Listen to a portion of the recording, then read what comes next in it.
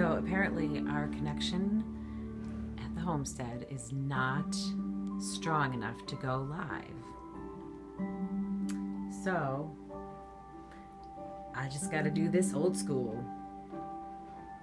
Welcome to our home. I'm focusing in on my favorite area this season and maybe like even in a few years. Got a living Christmas tree that we're going to plant. It's a Douglas fir in the spring. And we have a citronella plant that has grown into a tree. And they're both decorated. I love Christmas. I love Christmas because I do think of it as a spirit. And I love to bring the outside in. And I love winter and how it's a sleep time and cleansing time for the earth. And I like stories of old, some true, some myth, all woven together over time to create this Christmas spirit that is alive. It's alive in our hearts, it's alive in our thoughts, it's alive in our actions. To me, it doesn't have anything to do with religion at all. But mythology, traditions, love and light.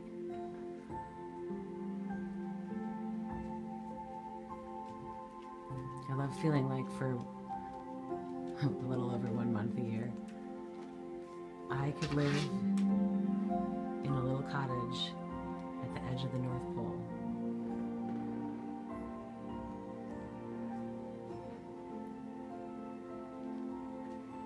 And that makes my heart full of Christmas spirit.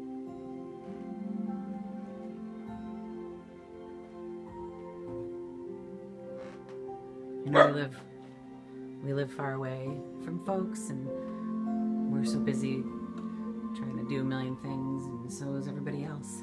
And we don't get to see people as much as we'd like. So we thought it would be nice to bring you in. See our house a little. Famous palm trees in the snow.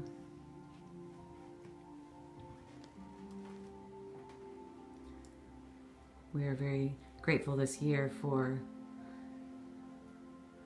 the abundance that we do have in our lives.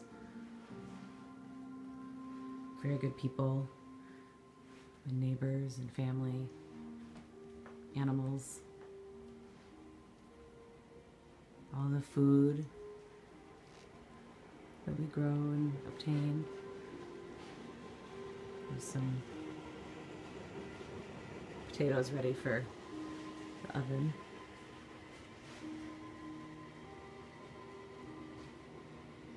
And we like to wish that abundance onto other people.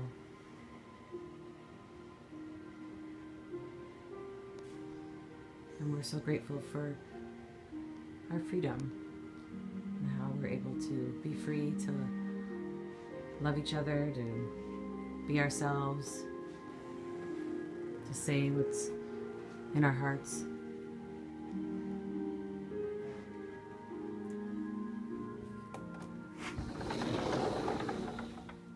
And to feel the freedom that we very much feel up here on the mountain. And we wish that freedom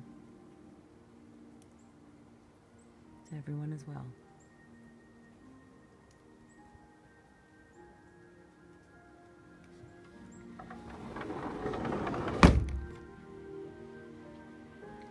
Mitch is cleaning up a basement right now, so I don't think he would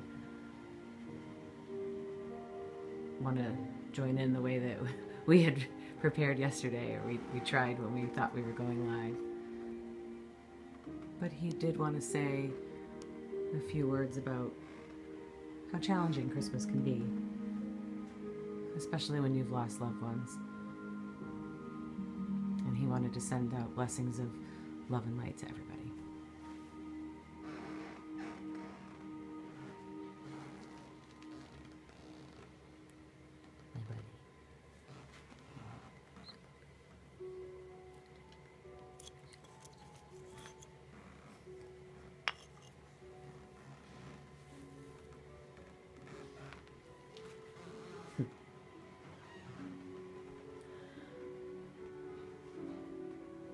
With that, thanks for hanging out. Thanks for saying hello. We love you. Merry Christmas.